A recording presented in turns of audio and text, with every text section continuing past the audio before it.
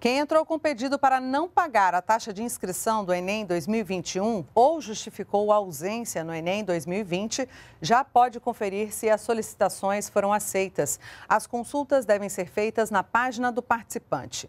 As pessoas que tiveram as solicitações indeferidas, ou seja, negadas, poderão entrar com recurso no período de 14 a 18 de junho, também pelo site do participante.